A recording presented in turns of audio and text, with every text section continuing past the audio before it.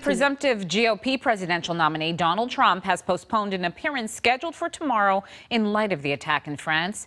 ABC News had confirmed that he was expected to introduce Indiana Governor Mike Pence as his running mate, a man with a political track record that the New York billionaire hopes will pave the way to the White House.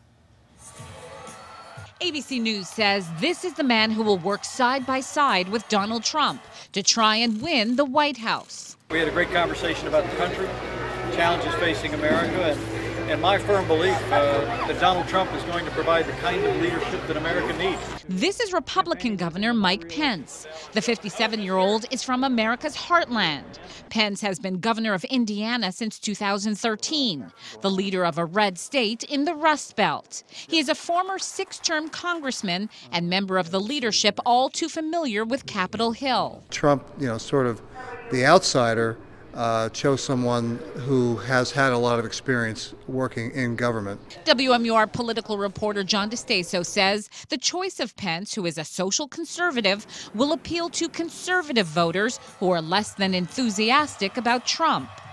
I don't think it's going to bring in any more moderate people, but it's going to shore up uh, the base for, for Donald Trump. But it was also just two months ago that Pence praised Trump, but endorsed Senator Ted Cruz in his state's Republican primary. I'm not against anybody, but I will be voting for Ted Cruz in the upcoming Republican primary. But now Pence, a father of three, is joining the ticket of one of the most controversial GOP candidates ever.